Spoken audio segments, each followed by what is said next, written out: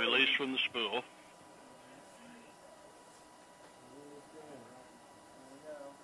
All stations, check step 86 and 87.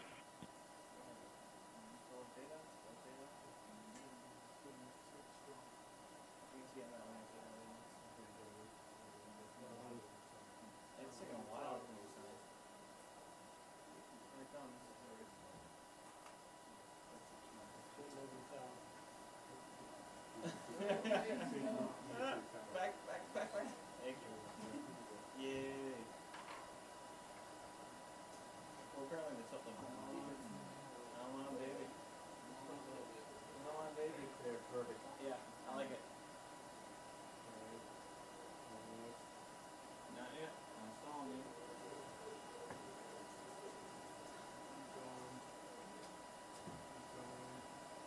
Collar is released.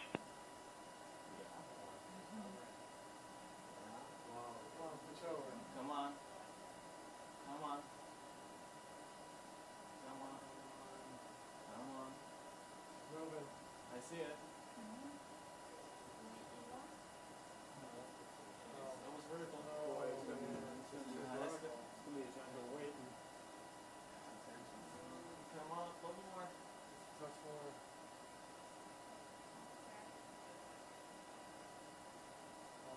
No, that's it, the, the collar. What they say? The, so they, it, flip, the collar flips down. Yeah, that's The collar. Uh, Come now they're just waiting for us. There it goes. There it gonna, goes. it's gonna be perfect. There it goes.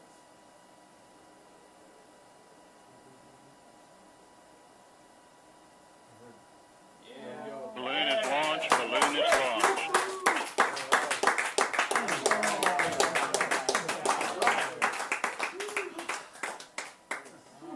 Oh, that was stressful. All stations, all stations, balloon launch time 17 colon 45 colon 33.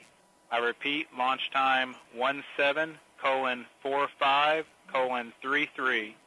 All right, that looked pretty good. Mean launch. Uh, please go ahead and start looking at your telemetry, make sure your all systems are healthy. Uh, we'll come around and do a poll here in 10 minutes or so. Good time to relax.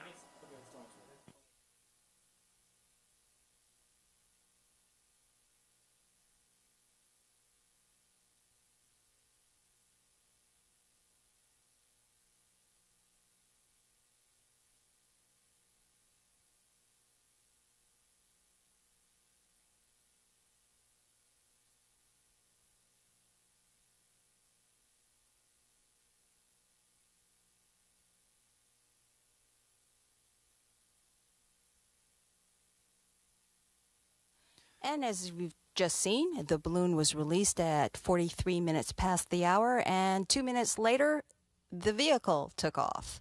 Dan, explain what we're seeing right now.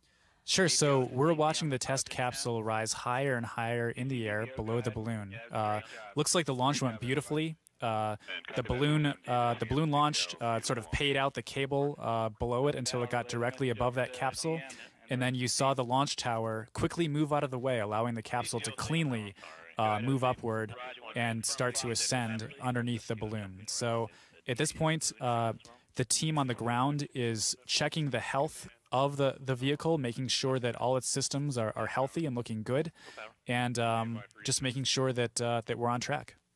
So, right now, that vehicle is on its way to 120,000 feet.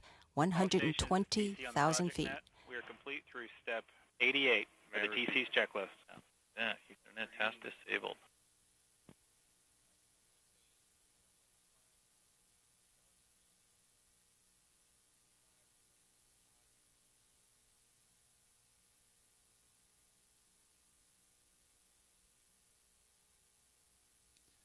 Just for comparison purposes, uh, 120,000 feet is about three times as high as a 747 flies. So this is going to very quickly pass through the altitude that you would fly in a passenger plane and go much, much higher than that.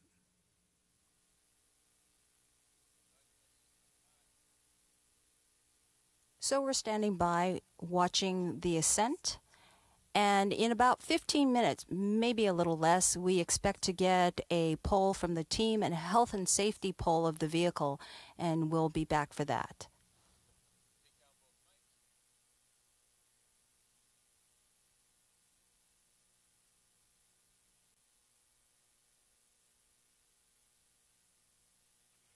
TCSMD off net.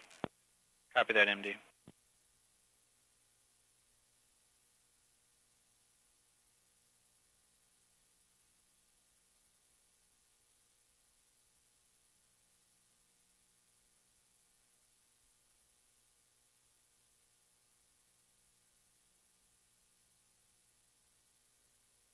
Balloon is ascending through all stations, BPO. Balloon is ascending through 5,000 feet. Balloon systems are green.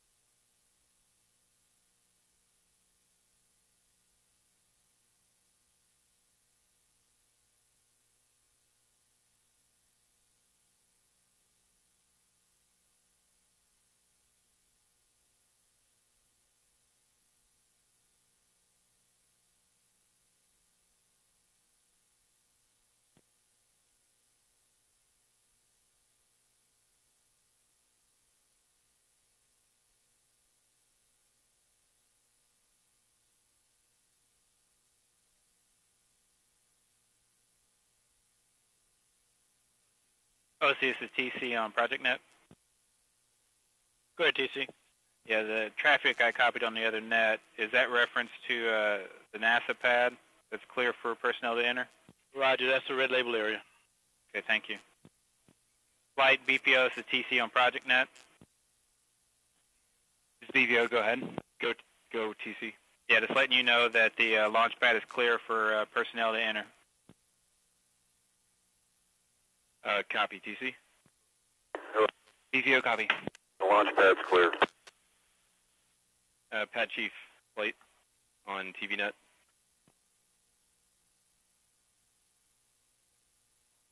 All stations check steps 89, 90, and 91.